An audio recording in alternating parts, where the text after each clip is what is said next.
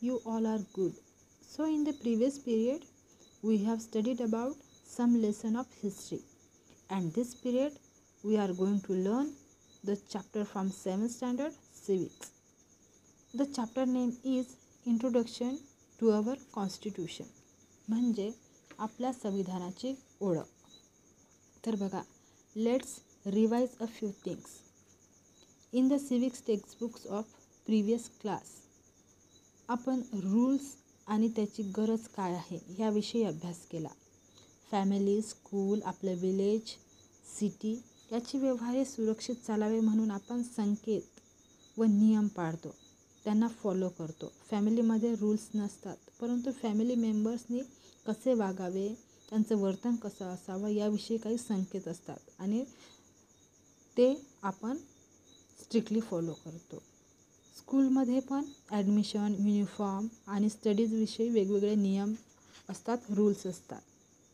तसेच स्पोर्ट्सविषयी पण काही रूल्स असतात. आपला गाव आणि शहराचं काम हे रूल्सनुसार नियमानुसार चालत असते. तसेच आपल्या कंट्रीचं काम देशाचं कामसुद्धा हे वेगवेगळे रूल्स फॉलो करूनच सुरू असते किंवा चालत असते.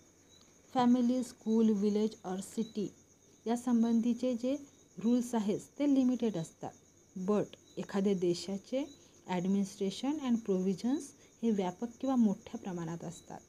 आता बघा जे क्वेश्चन समीरा आणि वंदनाला वंदनाला पडले तेच क्वेश्चन तुम्हाला पण पडतात का? जसे की देशाचं ॲडमिनिस्ट्रेशन ज्या रूल्स किंवा प्रोव्हिजन्सनुसार चालतो ते नियम कुठे असतात? किंवा जे रूल्स जे आहे ते कोण तयार करतं? त्या रूल्सला फॉलो करणे कंपल्सरी आहे का? तुम्हाला जर असे प्रश्न पडत असतील तर ते या लेसनमध्ये अशा सर्व क्वेश्चनचे आन्सर्स तुम्हाला मिळू शकतील. तर बघा the meaning of constitution the book in which all the provisions regarding the administration of the country are mention together in the systematic way is called a constitution तर ही कॉन्स्टिट्यूशनची डेफिनिशन आहे. म्हणजे देशाच्या कामासंबंधीचे प्रोव्हिजन एकत्रितपणे व सुसूत्रपणे ज्या बुकमध्ये लिहिले असतात त्याला कॉन्स्टिट्यूशन म्हणजेच संविधान असे म्हणतात. याचाच अर्थ असा की कॉन्स्टिट्यूशन म्हणजे देशाच्या राज्यकारभारासंबंधीच्या तरतुदीचा लिखित दस्तावेज होय.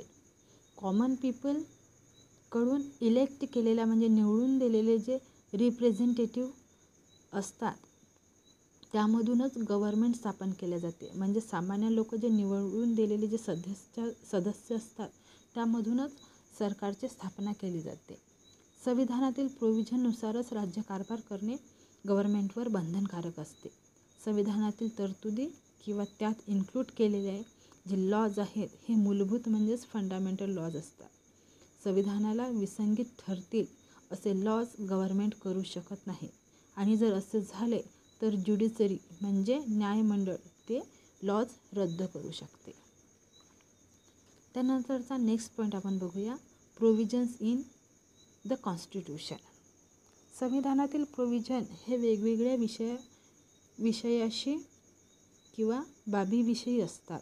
For example citizenship right of ci citizens the relationships between citizen and the state म्हणजे नागरिक आणि शासन संस्था यांच्यातील संबंध तसेच इलेक्शन रेस्ट्रिकेशन्स ऑफ गव्हर्मेंट म्हणजे शासनविषयी विषयातील मर्यादा आणि राज्याचे अधिकार एक्सेट्रा कॉन्स्टिट्यूशननुसार ॲडमिनिस्ट्रेशन करणे हे जवळपास सर्वच कंट्रीमध्ये देशामध्ये होते म्हणजे ऑलमोस्ट सर्वच देशांमध्ये संविधान आहे. असे असले तरी प्रत्येक देशाचे कॉन्स्टिट्यूशन हे वेगवेगळे आहे. प्रत्येक देशाची history social structure culture tradition हे सेम नसते वेगवेगळे असते. त्याचप्रमाणे प्रत्येक देशाच्या गरजा आणि उद्दिष्टे पण वेगवेगळे असतात. आणि या सगळ्या बाबींचा विचार करूनच त्या त्या देशाचे कॉन्स्टिट्यूशन म्हणजे संविधान हे तयार केले जाते. तुम्हाला माहिती आहे का? अमेरिका आणि इंग्लंड या देशाच्या राज्यकारभार हा सुद्धा कॉन्स्टिट्यूशननुसारच म्हणजे संविधानानुसारच चालतो. पण या दोन्ही देशाचे जे संविधानामध्ये फरक आहे. फॉर एक्झाम्पल अमेरिकेचे संविधान हे सेवन्टीन एटी नाईन सी ईमध्ये तयार झाले. आणि ते रिटर्न कॉन्स्टिट्यूशन आहे म्हणजे लिखित स्वरूपात आहे. त्यामध्ये ओन्ली सेवन आर्टिकल्स आहेत. आणि असे असूनसुद्धा two hundred and twenty five year झाले तरी अमेरिकेचे काम हे याच संविधानानुसार सुरू आहे. तसेच इंग्लंड हे एक हिस्टॉरिकल सॅव्हरल कंट्री आहे. या देशाचे जे ॲडमिनिस्ट्रेशन आहे राज्यकारभार आहे हा नॉर्म्स म्हणजे संकेत आणि ट्रेडिशन म्हणजे परंपरानुसार चालतो. तरी पण ते रूल्स स्ट्रिक्टली फॉलो केले जातात. ट्वेल्व फिफ्टीनमध्ये झालेल्या जे मॅना मॅग्ना कॉट करा करारापासून इंग्लंडचे संविधान हे डेव्हलप झाले. थोडेफार रिटर्न असले तरी प्रामुख्याने इंग्लंडचे संविधान हे अनरिटन म्हणजे अलिखित स्वरूपात आहे. ते लिहिलेले नाही. आणि तरीही इंग्लंडचा जो राज्यकारभार हा आहे हा अजूनही व्यवस्थितपणे चालूच आहे. तर यानंतरचा नेक्स्ट पॉईंट आपण बघूया. तर नेक्स्ट पॉईंट बघूया. नेसेसिटी ऑफ कॉन्स्टिट्यूशन म्हणजे संविधानाची आवश्यकता. संविधानात नमूद केलेल्या तरतुदीनुसार किंवा नियमानुसार राज्यकारभार करणे करण्याचे अनेक फायदे असतात. तर बघा शासनाला नियमांच्या चौकटीत राहूनच राज्यकारभार करावा लागतो. त्यामुळे त्यांना मिळालेल्या अधिकारांचा किंवा सत्तेचा दुरुपयोग होण्याची शक्यता कमी असते. नेक्स्ट संविधानात नागरिकांचे जे हक्क व त्यांच्या स्वातंत्र्याचा उल्लेख असतो शासनाला जे हक्क हिरावून घेता येत नाही किंवा हिसकावून घेता येत नाही म्हणूनच नागरिकांचे हक्क हे स्वातंत्र्य सुरक्षित राहते. संविधानातील तरतुदीनुसार राज्यकारभार करणे म्हणजे कायद्याचे राज्य प्रस्थापित करण्यासारखे आहे कारण त्यात सत्तेच्या गैरवापराला किंवा मनमानी कारभाराला वाव मिळत नसतो. संविधानानुसार राज्यकारभार होत असल्याचे पाहून सामान्य माणसाचा शासनावरील विश्वास वाढतो. त्यातून ते सहभागाला उत्सुक होतात म्हणजे हेल्प करण्यासाठी ते नेहमी तयार असतात. सामान्य लोकांच्या वाढत्या सहभागामुळे हेल्पिंगमुळे लोकशाही अधिक मजबूत होते. म्हणजे बाइंडिंग हे अजून जास्त स्ट्रॉंग होत जातं. संविधानात त्या त्या देशासमोर काही राजकीय आदर्श ठेवते. त्या देशाची देशाने वाटचाल करण्याचे संबंधनही त्या राष्ट्रावर असते. त्यातून जागतिक शांतता व सुरक्षितता म्हणजे सेफ्टी मानवी हक्काचे संवर्धन होण्या होण्यास पोषक वातावरण निर्माण होते. तसेच नागरिकांच्या कर्तव्याचा उल्लेख संविधानात असल्याने नागरिकांची जबाबदारीही निश्चित होते. म्हणजे लोकांनी कसं वागावं त्यांचे आचरण विचार कसे असावे यांचीसुद्धा निश्चिती ही संविधानामध्ये होत.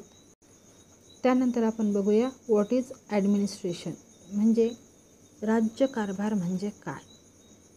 तर एखाद्या कंट्रीच्या राज्यकारभारात ॲडमिनिस्ट्रेशनमध्ये कोणकोणत्या बाबी येतात ते आपण बघूया.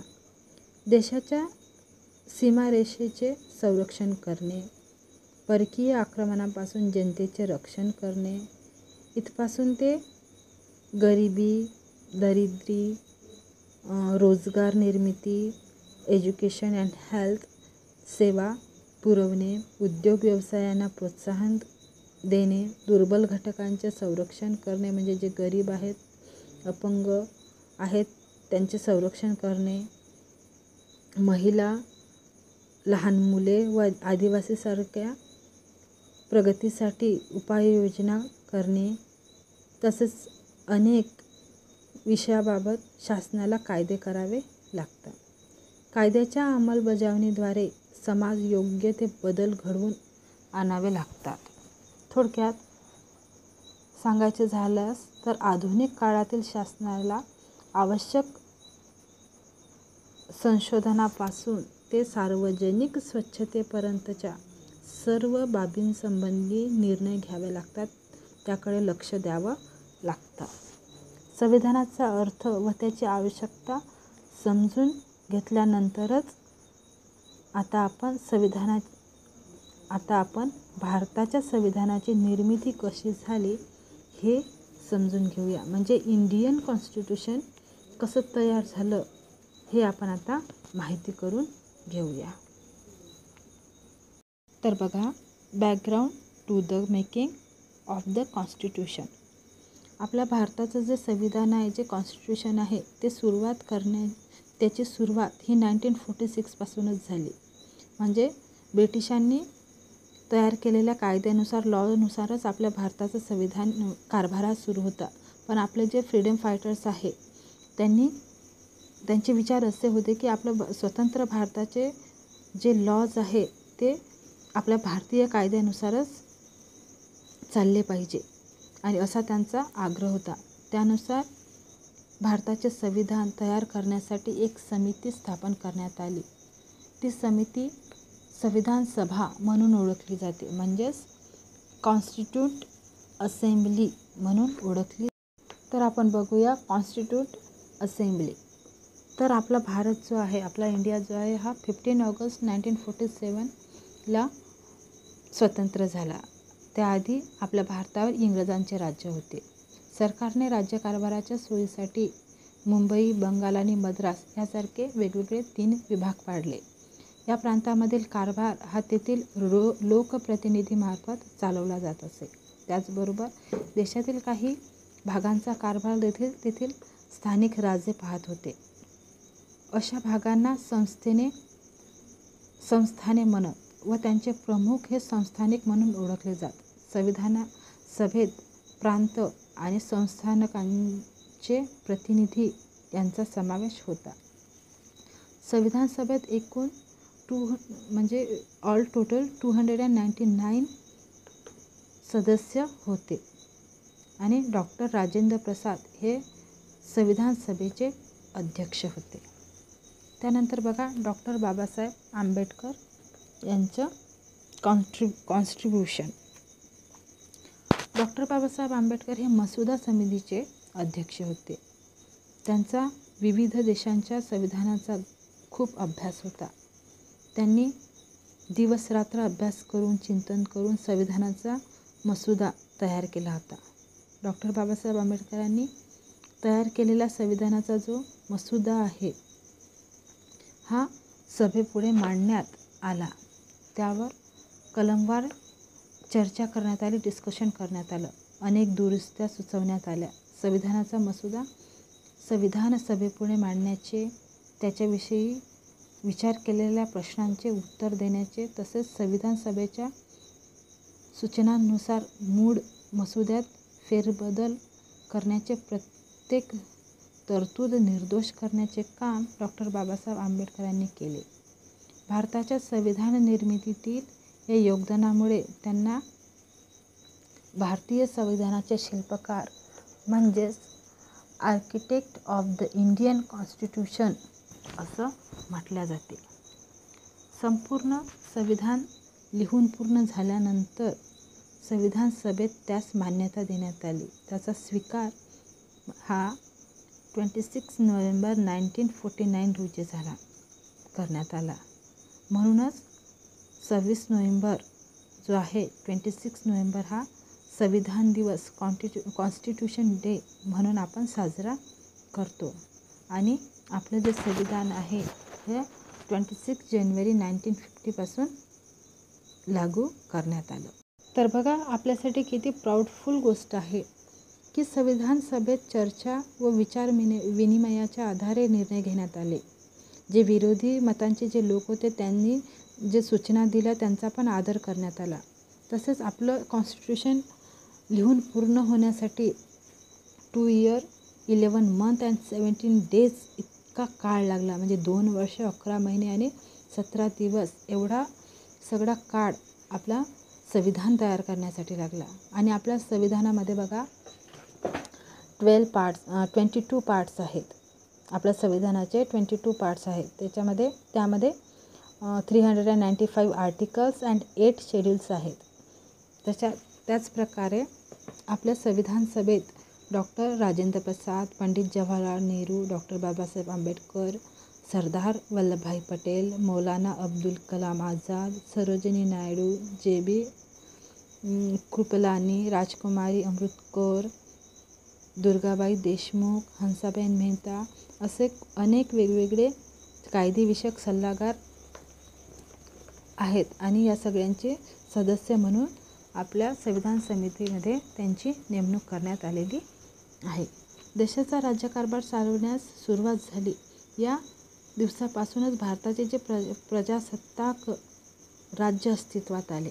म्हणूनच बघा ट्वेंटी सिक्स जानेवारी हा दिवस आपण प्रजासत्ताक दिन म्हणजे रिपब्लिक डे म्हणून साजरा करतो. कारण या दिवसापासून आपल्या भारताचे जे कॉन्स्टिट्यूशन आहे ते फॉलो करायला सुरुवात झाली. तर बघा हा लेसन आपण इथे कंप्लीट करून घेतलेला आहे. तुम्हाला लेसन नीट वाचून घ्यायचं आहे व्हिडिओ केअरफुली बघायचा आहे एक्झरसाईज सॉल्व करायची आहे. थँक्यू